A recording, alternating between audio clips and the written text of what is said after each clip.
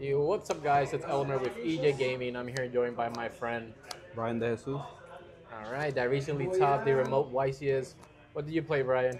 Uh, I played uh, Fire King uh, Azamina.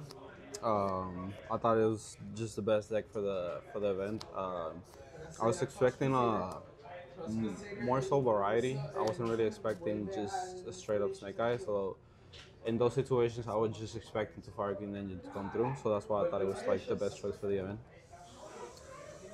And then. Uh, uh, before I get to the deck profile, I would like to do some uh, shout outs. So, uh, first, I'd like to shout out uh, uh, Yuri and uh, Chance. Um, man, like, I'm, th- those are my brothers. Like, I'm always testing with them. They, they, they were for me over there, like, the whole, the whole event. They were, like, always hyping me up and uh, just help me deck, uh, test out the deck. And um, we had a lot of, like, um, uh, we're testing and uh, deck building deck for at least like two weeks, theorizing the what were the best choices for the event. Also like to uh, shout out like uh, people here in Puerto Rico. Uh, everybody just, just showed me all love throughout the event. Uh, I want to shout out specifically Roger, Diego, uh, Roberto. Uh, man, like I, I really appreciate you guys, and same thing with everybody in California. Like, uh, man, I appreciate everybody in the uh, the valley that, that hit me up and it was just hyping me up through the whole event. And yeah, I want to get into let's get into the profile. All right, let's get into the spice. I hear it's a spicy deck list. Yeah, it's uh, it's something different for sure. Uh, for the most part, it was uh, standard stuff. So let's start with the Snake Eye engine. Played uh, one Snake Ash, one Pot, one Oak. That's not too much to explain here. Uh, these cards are mandatory. I know a lot of people go in and out about Oak. Uh, I feel like you need it in the crackback. Like it is extremely important, especially like if you have to follow up with the original and you ran through like uh, these guys and the opponents. So yeah, like I think this card's great. Uh, one Flamberge. I played uh, I played three Black Witch. Um, I know also a lot of people are going between uh, playing one, two, and three. I personally think that you should play three. Uh, you want to see as much as much consistency as possible, and this obviously enables that. Um, obviously, you want you know you can play three bon- uh, wanted and deception, but um, I personally think that nothing actually beats having the body, and it also it helps really really well into siding patterns because a lot of the times one second you just need one, so you just side the other two. Um, going for the spells. Uh, three bonfire, uh, nothing too much to say there. Three wanted. Uh, one original.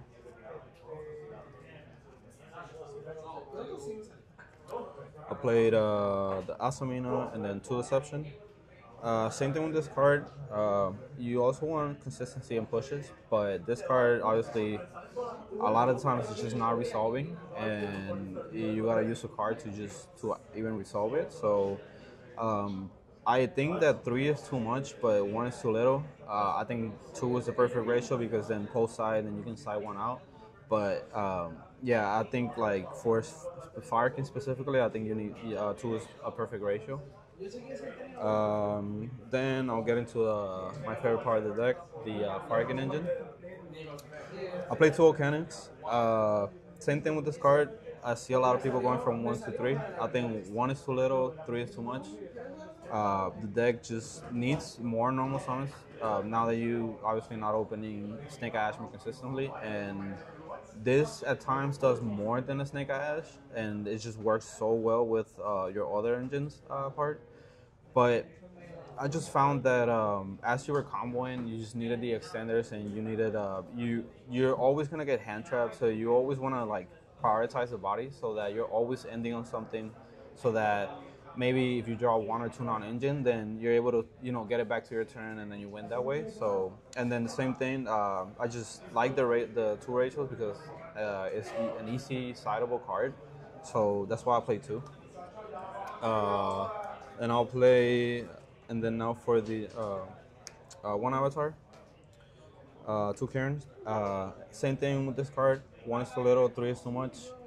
Um, for the whole format, I wasn't really seeing Imperm and Veiler as much, and the cards that I was just more scared that were resolving against me was actually Ash Blossom and Impulse, which this really doesn't stop. So but you, you still want it because it's so good into your. Uh, it, it works so well with your engine, and when you're resolving it, you're just so ahead when they use a hand trap, and you you're just able to recycle it or add back one with it, and it just makes your end significantly better. Um, you specifically in fire you always want to end with this card in their hand if possible. So.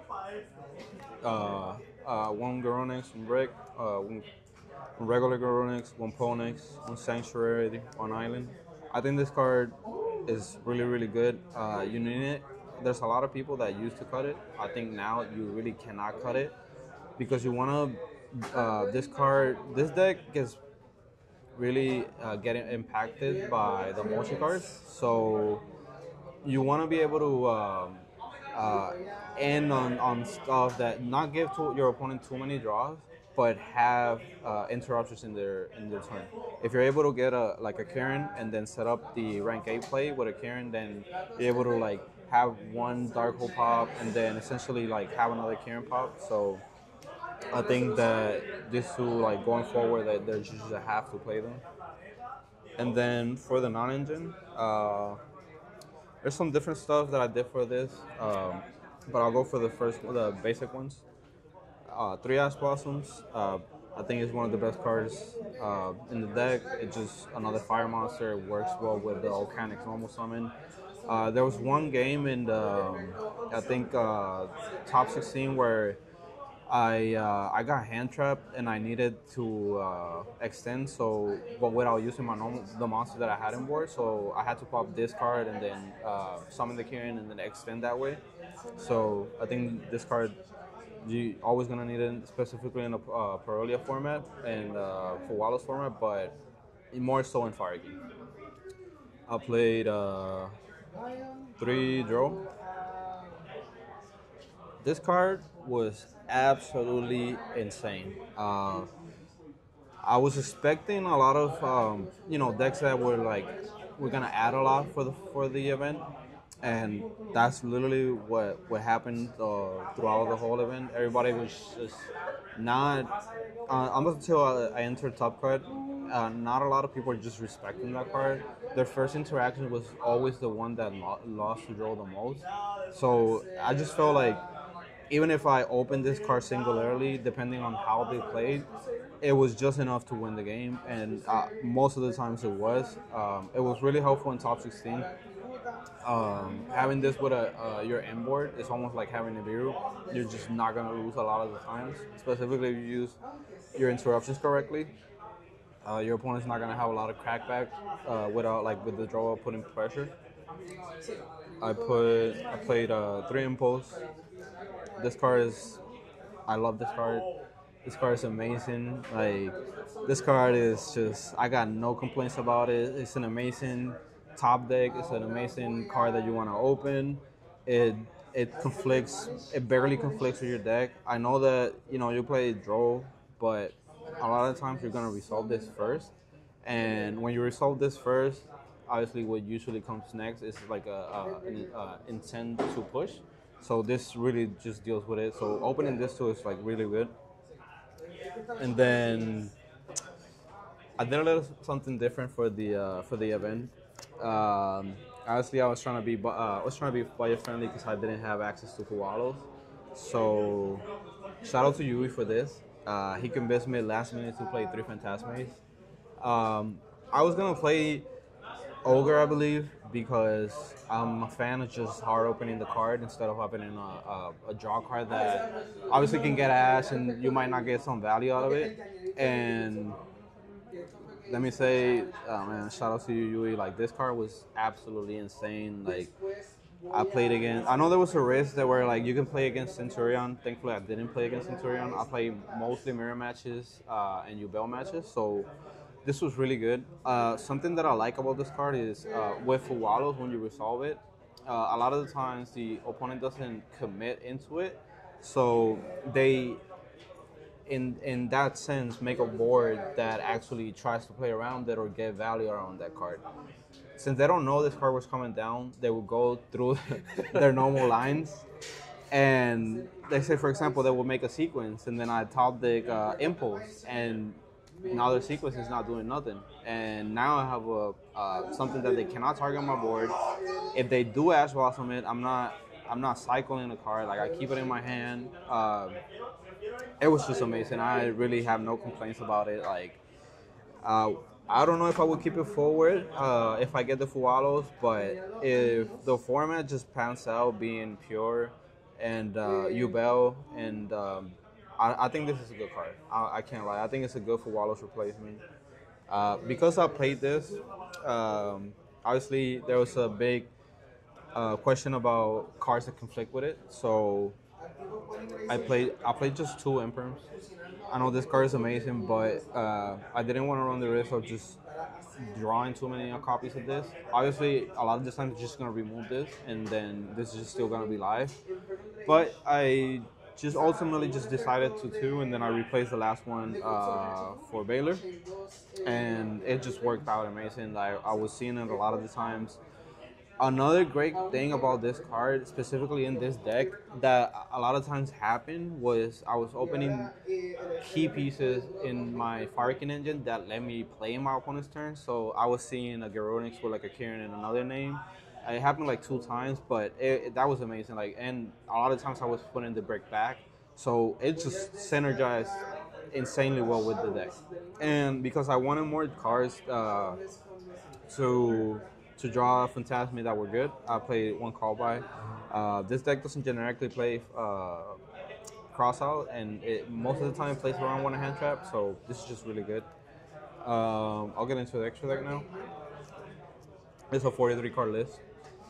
Um, for the extra deck, I played I played one anima. I think the standard. Uh, one dark, one Hira, one IP, one Nightmare Phoenix. This card, I before the event I was considering cutting it because I just didn't think it was gonna come up as much, and I was right. It honestly, I never used it. It it honestly never came up. Like I realized later that I still had the Celantis of the line with the uh, Raging uh, Sunlight Wolf, so this honestly could have just been Fucho in the main deck because I sided it. Uh, I put it in my side, and um, Fucho could have just been a, an actual like extra side deck card. So moving forward, I don't think this deck needs it, and um, just the XYZ does a much better job.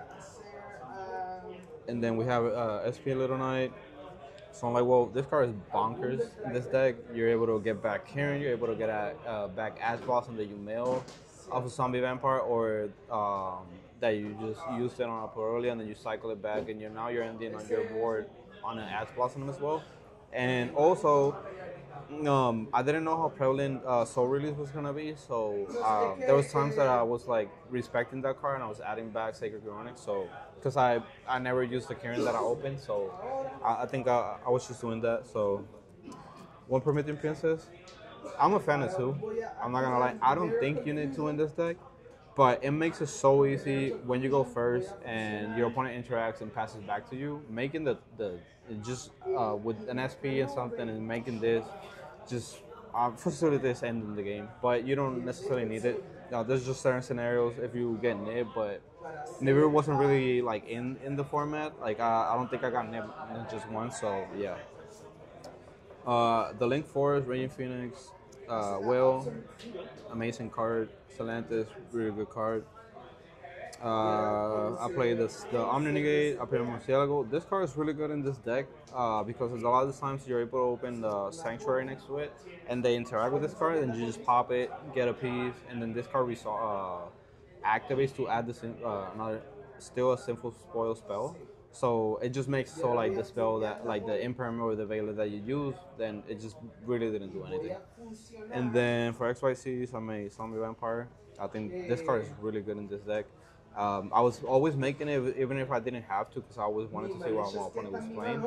Um, my mills were amazing uh, next to my opponents. I was milling. There was one game I think top 16, uh, game one where I milled uh, my opponent's uh, Island, Ponix, and uh, Kirin, something like that. I think, or Ivada. It was three engine pieces that honestly mattered in a crackback.